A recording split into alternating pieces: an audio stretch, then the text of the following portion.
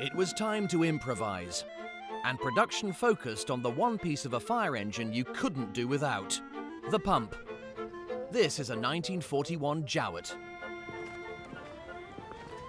Fundamentally, this machine consists of an 8 horsepower car engine in here, driving a pump here.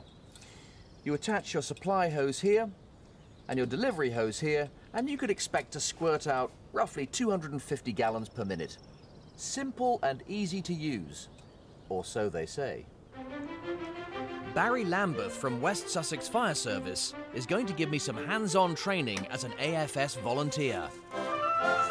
My first job is to stop Barry falling over.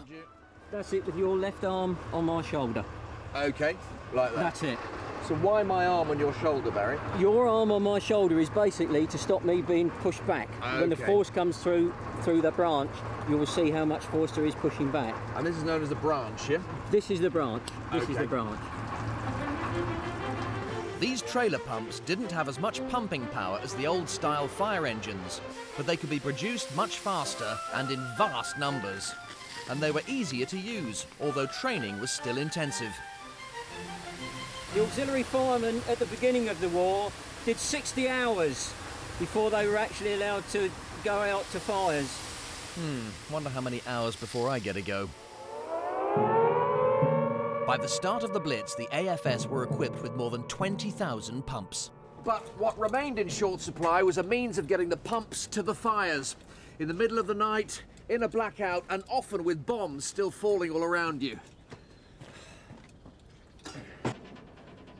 Taxi!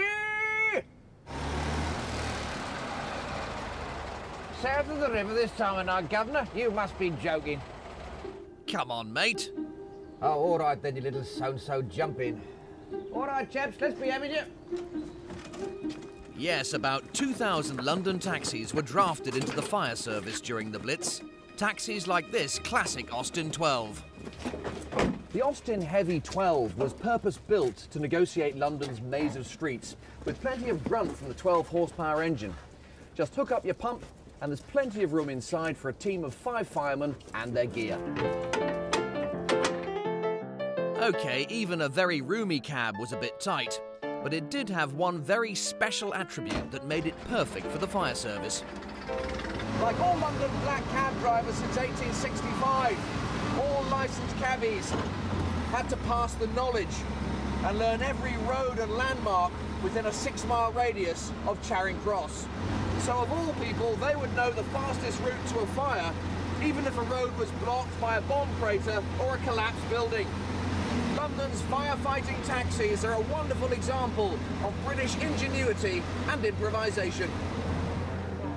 During the Blitz, they helped save thousands of lives.